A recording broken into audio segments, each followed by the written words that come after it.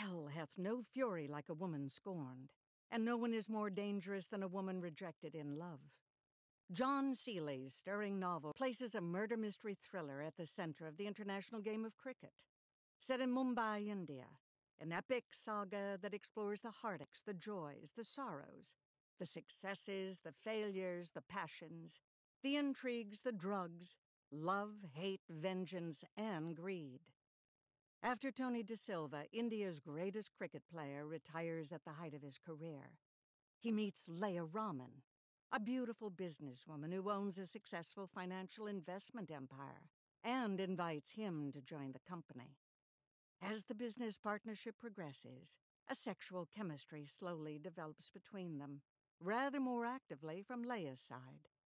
Leah introduces Tony to her equally stunning younger sister, Karma, a television reporter with one of the national broadcasters. For Tony, it is love at first sight, and a romance quickly blossoms between them.